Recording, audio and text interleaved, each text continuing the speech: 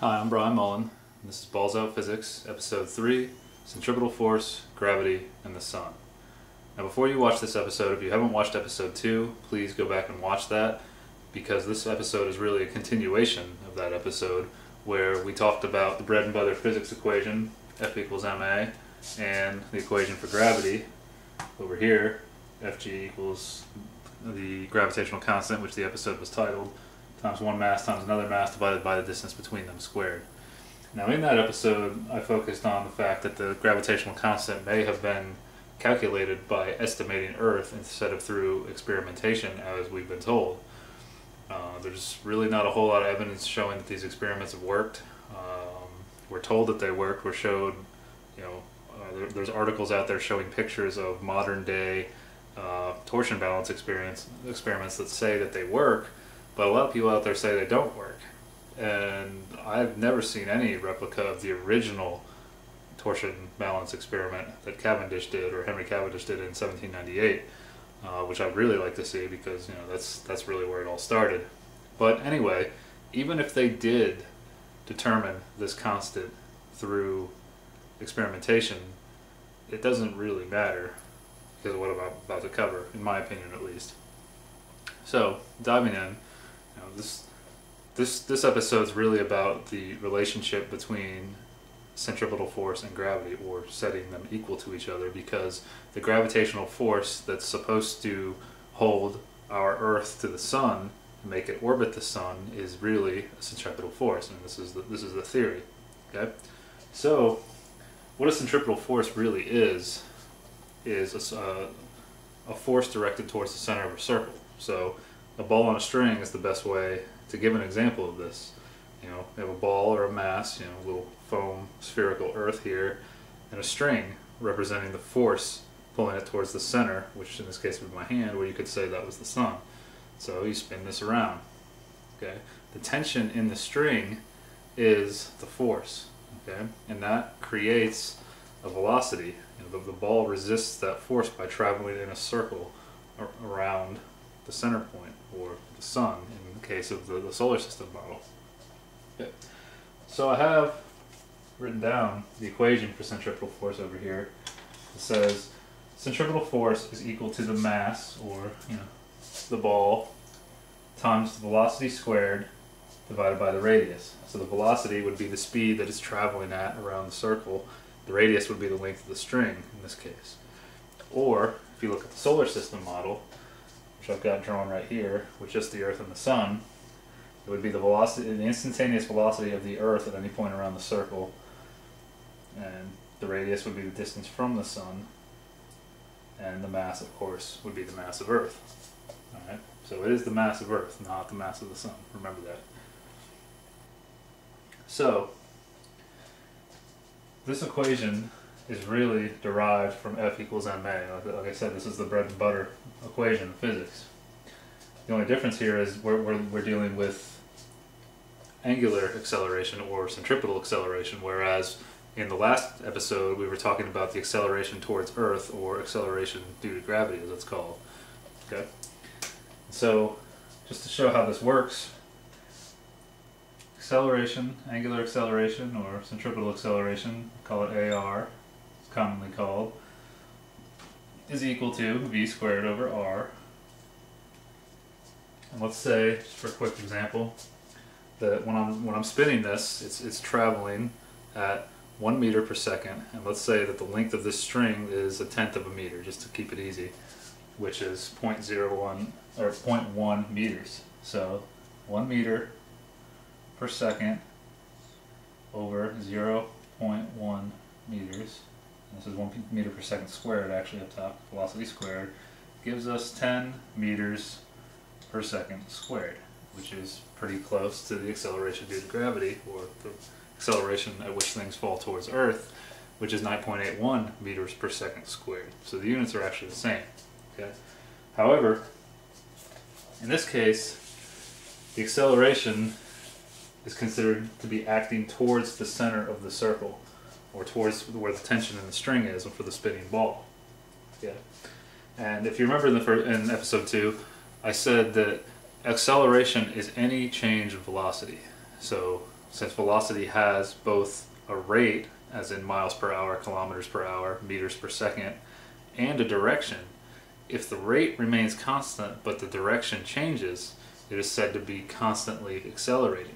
So, theory is, since this Earth would be traveling around the circle, or it's actually, NASA tells us it's elliptical, but they also use this equation, which is based on a circle, th this velocity is constantly changing as it travels around the sun.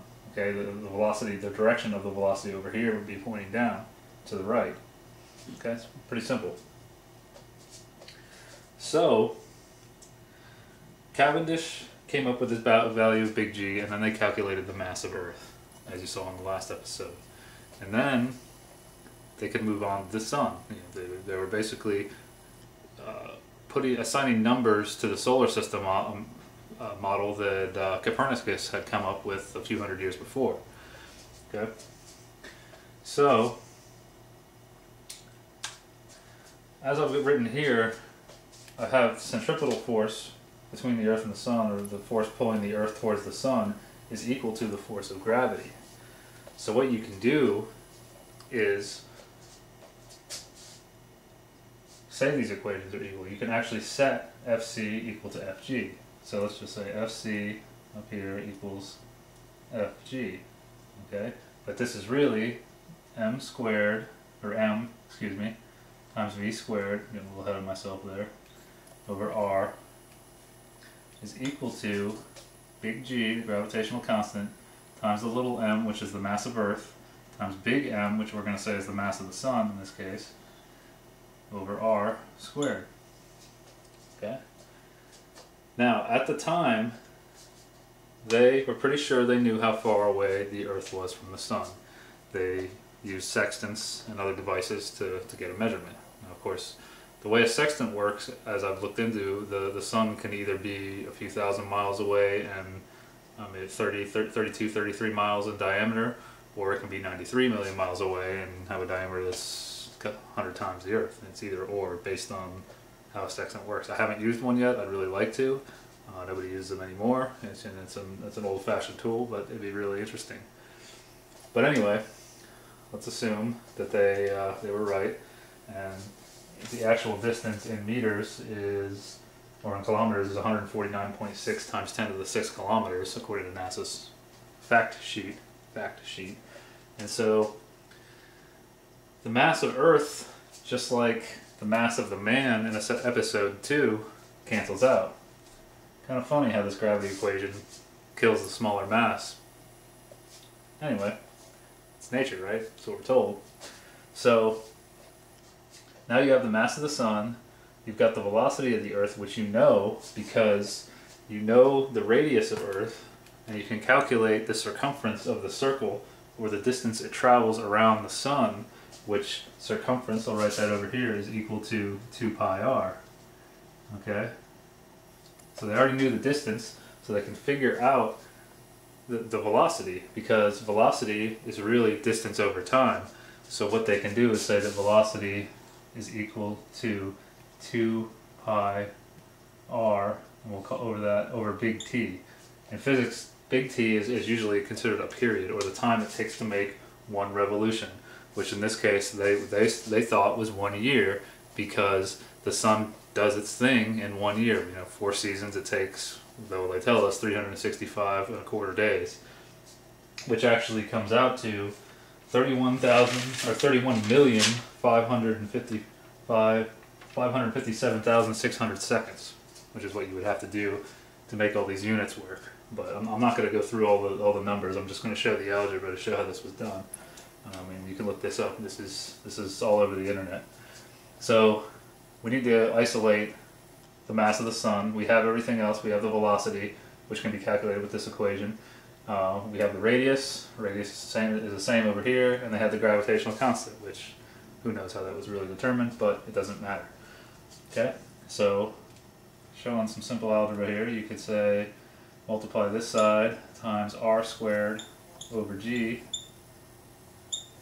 multiply this side times the same thing, r squared over g, just to show the steps.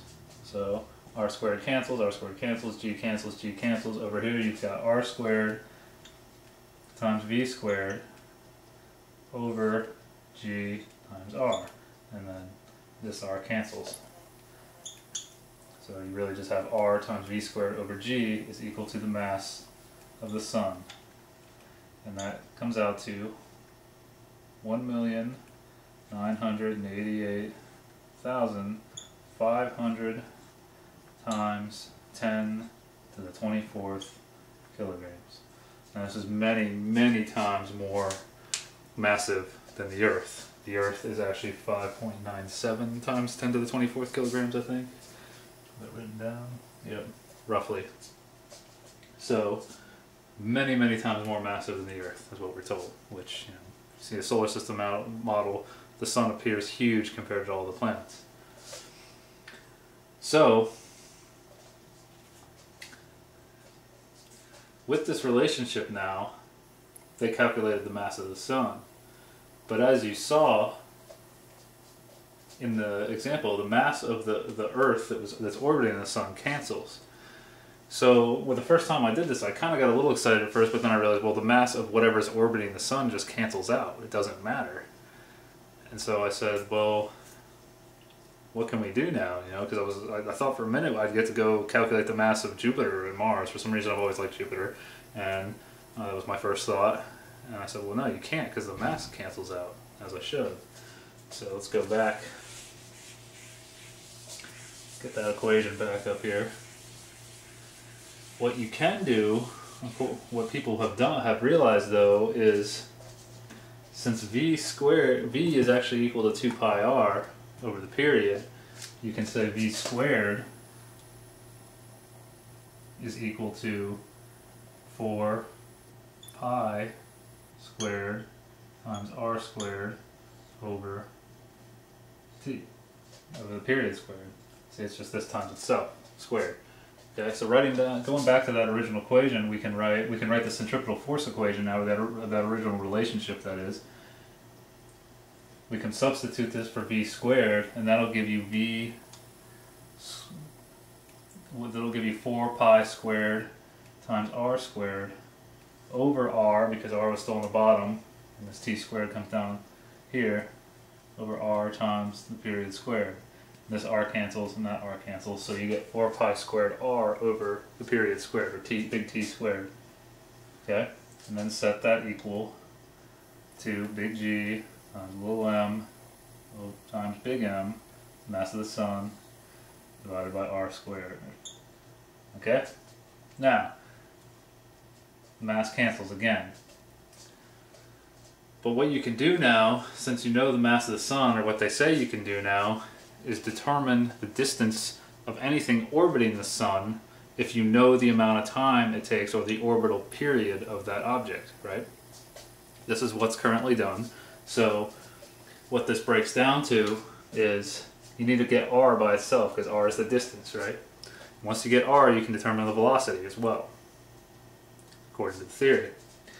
So, to get r by itself, we multiply this side times r squared.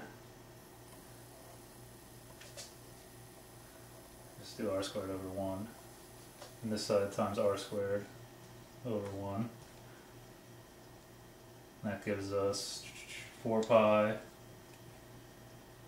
squared r cubed equals, cancels on this side, g times big M. And then we want to get r by itself over here, so we just divide by r pi, or by 4 pi, 4 pi squared. I'm not going to actually show the steps, but we'll just say r cubed equals g m, nope, I missed t, t. Cubed. Let me just write this out. What this actually works out to, instead of doing all the algebra for you guys, I can do it, I've already done it, um, and if you look this up, this is the period equation. R ends up being, so I'm not boring you with all the algebraic steps, the cube root of the gravitational constant times the mass of the sun times the period squared over 4 pi squared. Okay?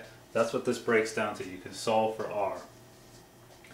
And so what they say is that if you know the period, for instance, Jupiter, Jupiter takes 11.86 years to do its thing. You know, we, we see it, if you pick a point in the sky and you record where it is in the sky, it will take 11.86 years to get back to that point. People have been watching these things, the wandering stars, as the ancient ancients used to call them, or the planets, eight of them, that, uh, well, seven we can see, we're supposed to be on one of them, um, since the beginning of time, as far as we know.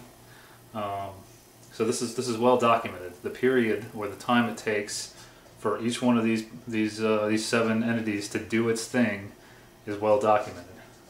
Okay, and so you would need to convert the time for Jupiter into seconds, and that is actually just to throw a number out there: three hundred seventy-four million one hundred ninety-eight thousand four hundred seconds. Pretty long time, lots of seconds. So you plug that in, you've got how far Jupiter is from Earth, right? Well, I don't really agree with this. And the reason I don't is because we got to back up here. The only thing that matters, according to this equation, is the mass of the sun. The mass of Jupiter doesn't matter, so Jupiter could be a golf ball, or it could be what they tell us, something with the mass of 318 Earths, roughly. So, based on this, it doesn't, the mass doesn't matter. What about this over here? This original proportion that I talked about in episode 2. As the mass of each object increases, the force gravity increases. As the mass of one of those objects decreases, the force of gravity decreases. But the way I look at this, it's saying that the sun controls only. Let's back up a little bit. Maybe I'm getting a little ahead of myself here. Go back to this original relationship. We don't need to do this anymore. We'll go back to just keeping it simple. You say the centripetal force Fc. You say the centripetal force Fc is equal to the mass of the object orbiting the sun, which we still have as the Earth here, or Jupiter, or Mars, or whatever you want it to be, times the velocity of that planet or wandering star, divided by the distance from the sun, r, is equal to the gravitational constant times the little m, which is the mass of Jupiter or Mars or Earth or whatever, times big M, which is the mass of the sun, I'll write M sun here to clarify that, times the distance that object is from the sun squared, and that's equal to the force of gravity. These are said to be equal, and this is how the solar system is was built, or that's how we applied numbers, or they applied numbers to our solar system. Okay. Well, this math is canceled.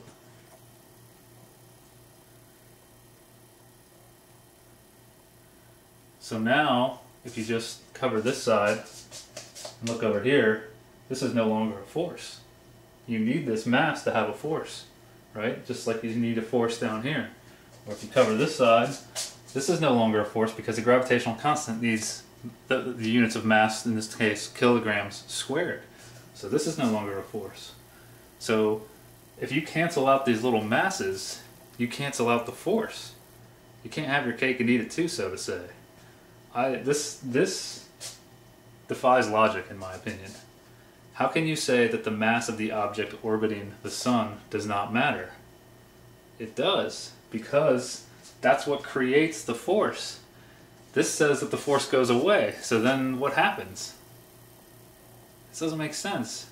But if you go back to that equation that I showed, you say r equals the cube root of g, which you can solve from this, just to show this again, times the mass of the sun, times the period of the object orbiting the sun, how long it takes to go around one time, divided by 4 pi squared. If you take the period of any of the planets, I did all the planets, even Earth, or the wandering stars, and you plug this time in, you get the exact radius, roughly the exact radius that NASA has on their fact sheet from every one of the planets, their fact sheet. So, you know, I, have looked into this for a while and I've been aware of how masses are calculated. So you say, where? How do you figure out the mass of the object object that's orbiting the sun then? Because this says that the sun wins. The mass doesn't matter. I don't know. Well, what they say is they observe the object. They observe Jupiter, for example, and they observe the moons that they tell us are orbiting Jupiter.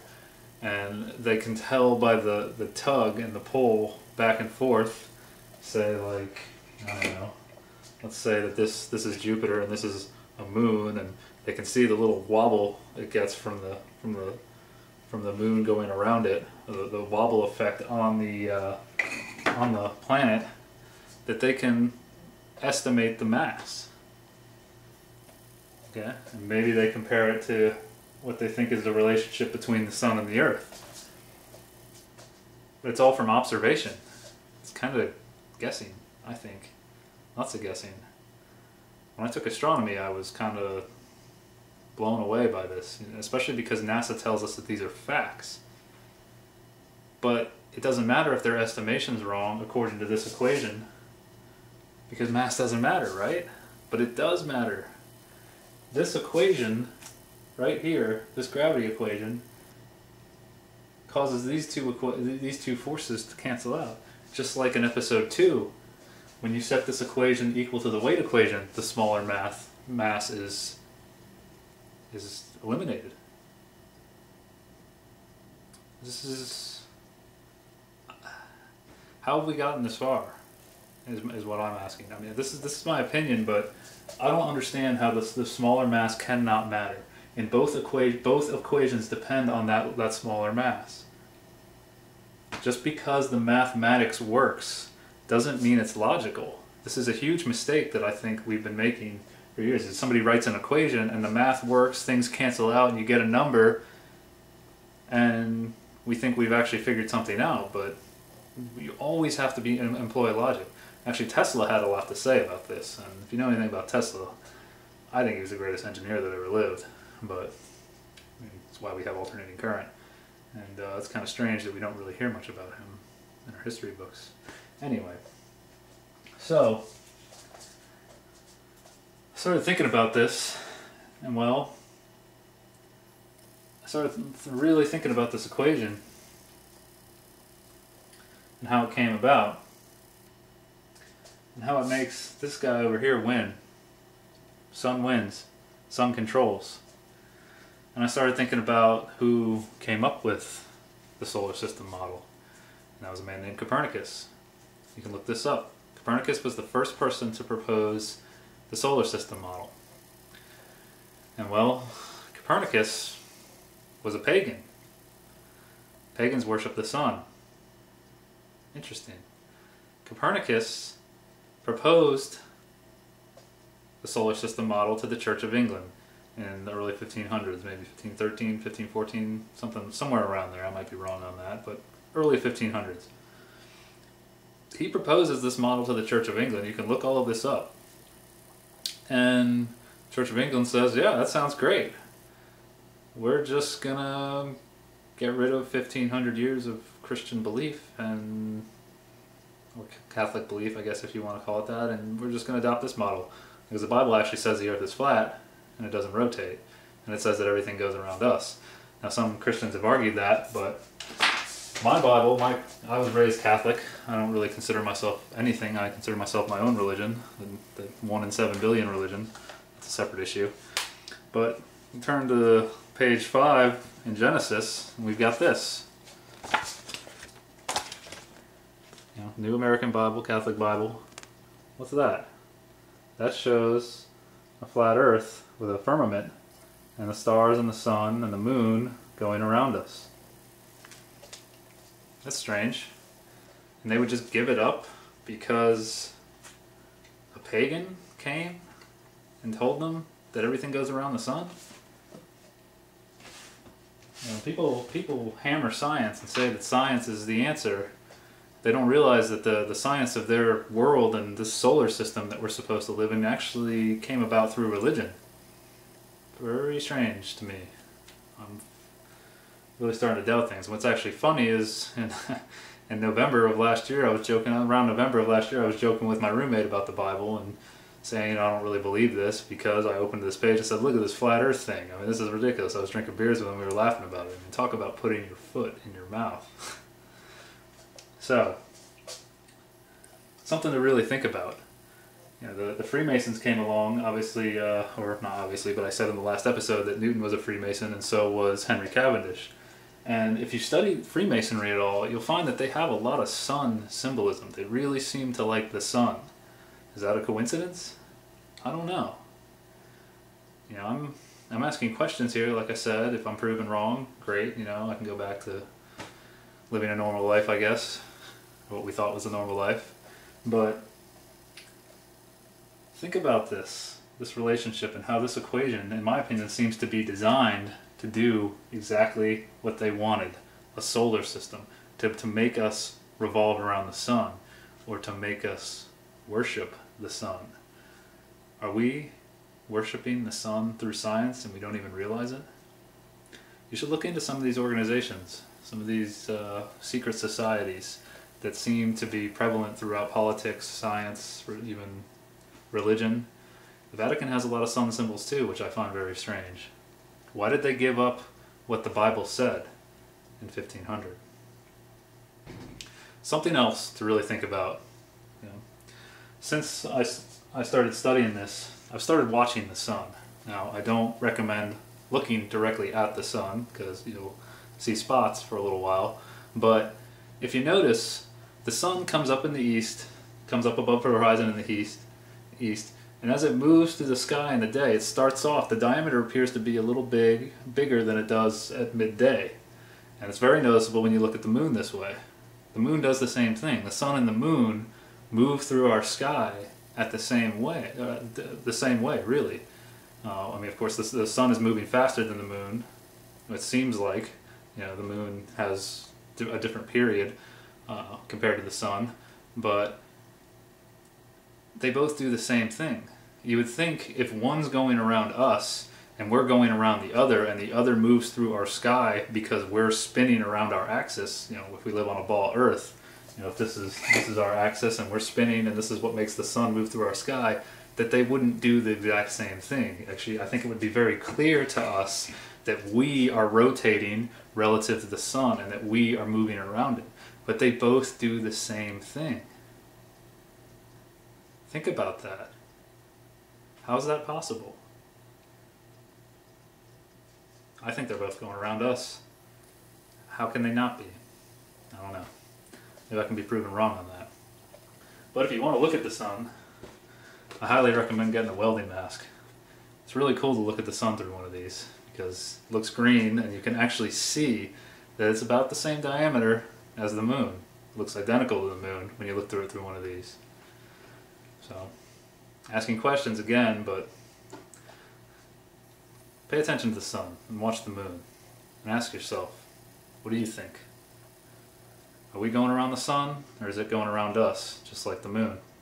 I don't know. But I'm going to keep watching it because it's interesting. And I really want to know what my world is. We all need to work together and figure this out. So until next time, we'll be talking about a thermosphere and maybe something else in episode 4. See you then. Peace.